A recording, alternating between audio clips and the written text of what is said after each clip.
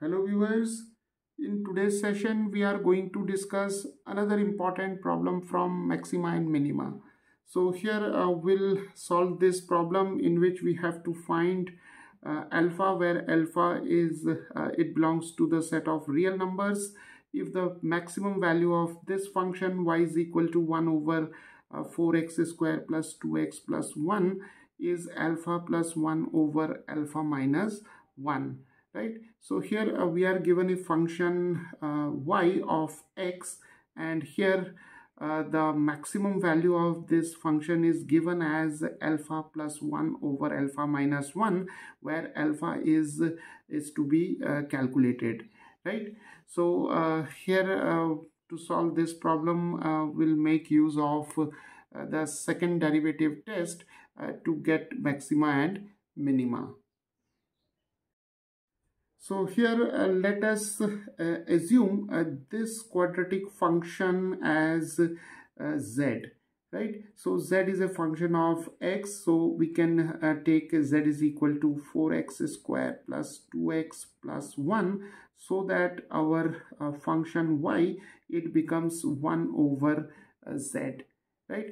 Now uh, we'll find out uh, the values of uh, x for which this function z is maximum or minimum uh, and with the help of those values we can uh, decide that uh, the function y is maximum or minimum for what values of x right so here if this function z is maximum then uh, our function y uh, should be a minimum right? So this is the concept we are uh, going to use here. When this function z is maximum then y is minimum. And similarly if z is minimum uh, then uh, y is uh, maximum right so let us uh, find out the values of x for which this function z is maximum or minimum. So let us differentiate z with respect to x. So dz over dx is uh, 4 times the derivative of x square that is 2x and here uh, we have 2 the derivative of x is 1 the derivative of 1 is 0 so we have 8x plus 2 right so the first derivative of z with respect to x is 8x plus 2.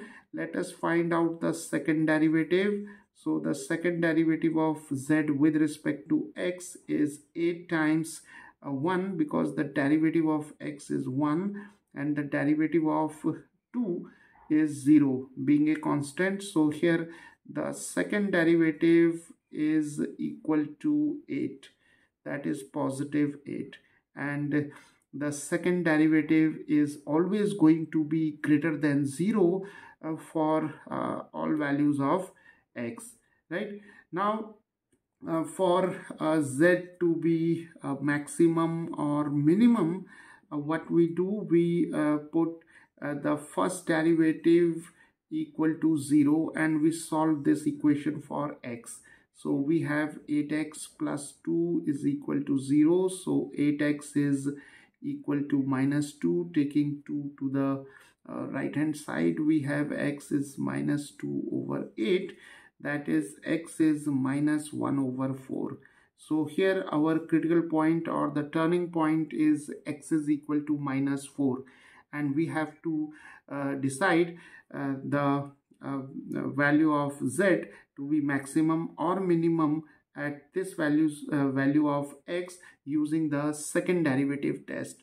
So the second uh, derivative test uh, says that uh, derivative uh, test states that if the second derivative is uh, less than 0 that is negative then z is a maximum and if the second derivative is positive that is greater than 0 then z is a minimum right? So let us take x is equal to minus 4 in this expression. That is uh, the second derivative is equal to 8 right? Now see the second derivative is independent of x because this is a constant here right? So the value of the second derivative at this point that is x is equal to minus 4 it remains 8 and 8 is uh, positive that is greater than 0 so this point is a point of uh, minima right?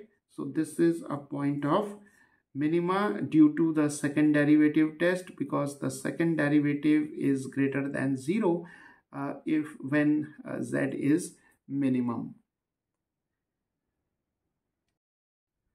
So this function z which is a quadratic function uh, z is uh, minimum at x is equal to minus 1 over 4.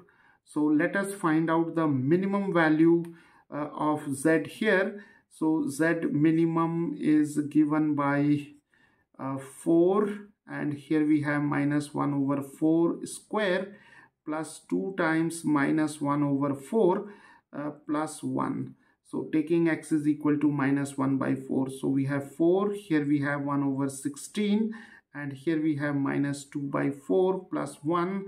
This is 4 times 4. So we have 1 over 4 minus 2 by 4 plus 1 so this is 1 minus 2 over 4 plus 1 that is minus 1 over 4 plus 1 that is minus 1 plus 4 over 4 that is 3 by 4.